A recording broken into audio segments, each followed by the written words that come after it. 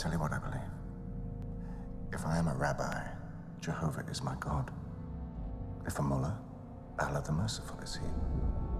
If a Christian, Jesus is my Lord. Here in Tressock, I believe the old religion of the Celts. Very privileged to be joined by Robin Hardy, um, eminent director, probably best known, who will always be known, I guess, for The Wicker Man. And Robin has just, after many years, how many years is it now, Robin, uh, since you made the, the, the Wicker Man? Because you're just returning to the theme. it's more than 30 years. More than 30 years, yeah. What, what brought you back to those, to that theme at this moment in time? Was there a particular uh, trigger for that? Well, there are two triggers, really. First is I've always wondered why no one had ever tried to do uh, the genre we did in The Wicker Man. Right. Um, and when I say the genre, was a mixture of um, humor, mm-hmm. a romance, yeah. um, eroticism, uh, jokes, and ultimately horror. major horror. Yeah. Um, and no one had, no one has. I mean, I can't think of another film which, which has attempted to do that. So it had become a kind of genre of its own. and when it happened that uh, the remake came up, yes, I was very curious to see whether they were going to be able to do that. mm-hmm. Uh, there's no reason why they shouldn't have been able to do that. The United States uh, has wonderful uh, folk songs uh, Yeah. the Appalachians, which w- which would have fitted in perfectly well. Yes. Uh, they cast a wonderful actor in Nicolas Cage, who I've always thought was an extremely good character actor. Um, and uh, uh, they cast uh, a writer director who's been very successful in Mm, the theatre Yeah. and who I admire. Yeah. Uh, and somehow they just threw all the babies out with the bathwater. Yes, very much. No comedy. They just missed it. The, the music was Muzak, really, wall to wall Muzak. It could have been an elevator. Uh, the, um, the comedy wasn't, unless you count uh, poor uh, Nicolas rolling down a hill in a, bear, in a, in a monkey suit, unintentional comedy. Uh, and this swapping of genders, where all the males were made females for no particular Yeah. reason, and vice versa, uh, seemed to be a complete disaster. I, I mean, uh, to this day, I have no idea what went wrong, except for they had about 27 producers, That's what he and that would well. do it.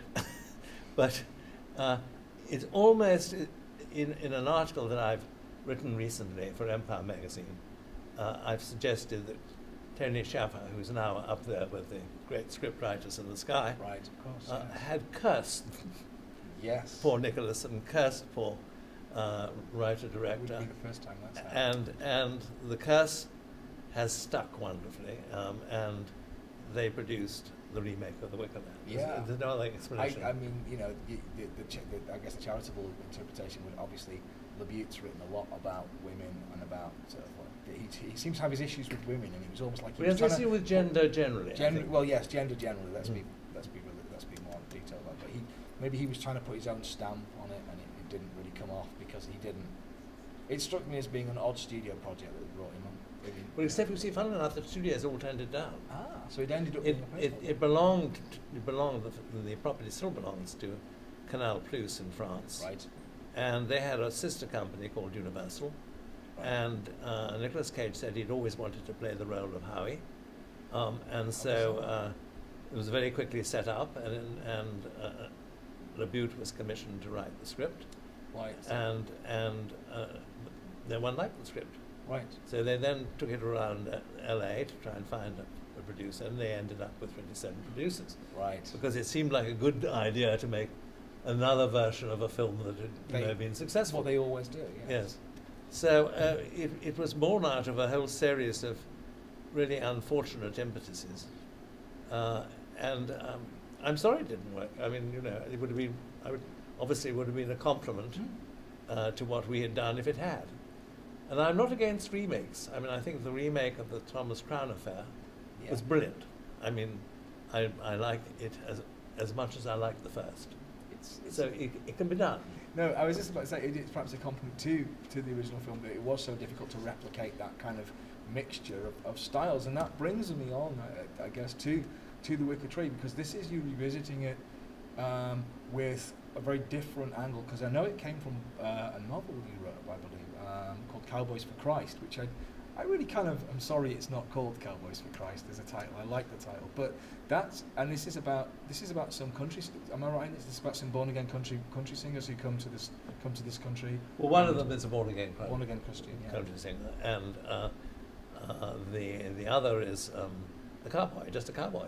a cowboy. Uh, her boyfriend. right. They met together when they were about 15 years right. of age and, and in high school. Types.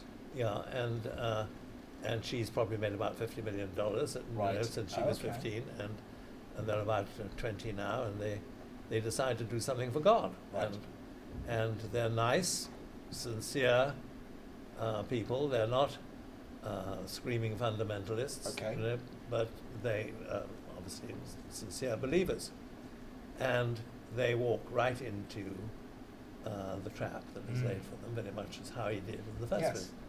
Um, and we spend the film hoping they're going to get out again. Right. Um, and um, I won't tell you what happened, but that's, that's, that's, that's the, the, the, the, basis of it. And along the line, we have a lot of fun. Right.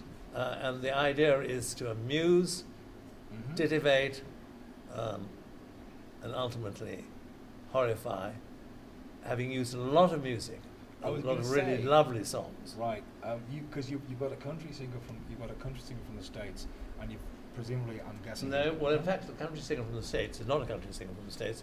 She's yeah. she's a nice English girl well, I mean, who plays a country. I girl. guess the character. yes, I'm that's right. the music you'll have. yeah, you're right. You're absolutely So right. you're, but you're bringing because you when you were saying before about the um, the Wicker Man remake about all the great American folk and country music, and was was was that part of the plan to bring American folk music into this British folk music environment and have this kind of interest, almost like a, well, like the a reason music? the reason for bringing Americans into it is Yes. because they were suddenly being tr- transposed into entirely alien society. Exactly. Yeah. the kind of things that would have raised the suspicions of an Englishman person Yeah. or a Scot, They wouldn't notice. they didn't notice.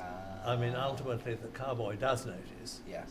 because he's less um, exposed to fame than Right. she has been. And she's been, you know, spent her life in hotels like Hilton's and Mm. Four Seasons and things like that. So she's a bit otherworldly. She's a bit unworldly, exactly. Okay. yeah. Um, and so uh, she's um, a better mark Yes. than than he is Right.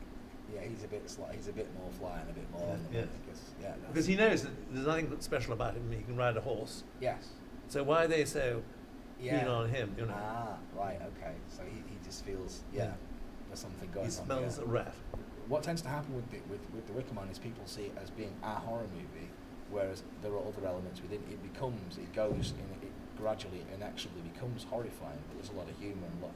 And you said that about this film that you tried to emphasize, emphasize the humour more. In, in Well, it's partly because I think it's a bigger shock right. For the audience. If it goes dark when it's funnier. yes. Yes, I, I know what you mean. It yes. leads people. Well, when you entertain them and they think, what a lovely society. Now, the Yeah. other thing that that I do think is important is both in The Wicker Man and in The Wicker Tree, we're uh, involved in a society which didn't have as its main religious precept right and wrong. Yes. It's, it's um, if you give to the gods sufficiently Mm. the yes. right kind of thing, you Yeah. will get what you want. Right. Not necessarily right, not necessarily But, wrong. but, but the gratification of Y- yes. desire. Yes, exactly. All right. And we don't necessarily get that from our God. Oh, glorious Son, accept our sacrifice that we may be fruitful once again.